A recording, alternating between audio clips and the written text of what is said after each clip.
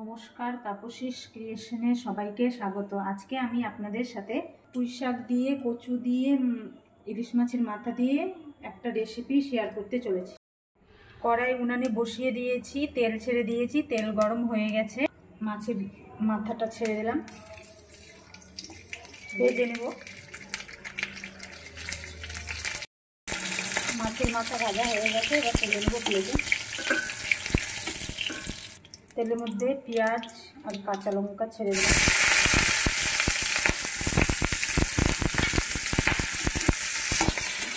টমেটোটা ছেড়ে দিলাম। টমেটোটা ভাজা হয়ে গেছে, এবার কচুটা ছেড়ে দেবো।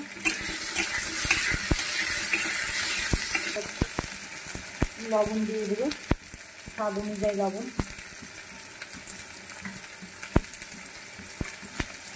হলুদ।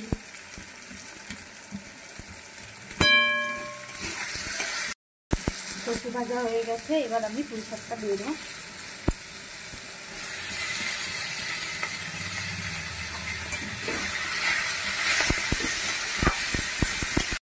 ভাজা হয়ে গেছে।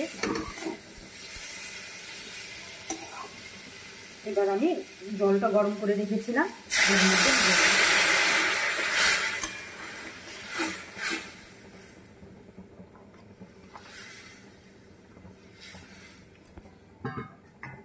গরম জল দিয়ে দশ থেকে পনেরো মিনিট কম আছে রেখে ঢেকে। ইলিশ মাছের মাথাটা আমি ভেঙে টুকরো টুকরো করে রেখে দেব।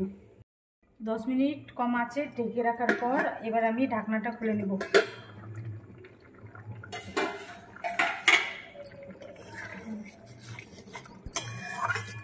তরকারিটা আমার হয়ে গেছে, এই যে কচুটা সেদ্ধ হয়ে গেছে। ডাটাও সেদ্ধ হয়ে গেছে। এরপর আমি মাছের মাথাটা দিয়ে দেবো।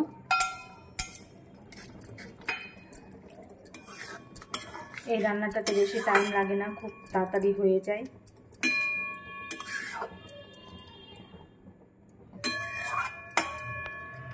মাছের মাথাটা দিয়ে দিলাম, এরপরে একটু ভালো করে ফুটিয়ে নিব। খুব সহজ পদ্ধতির একটা রান্না।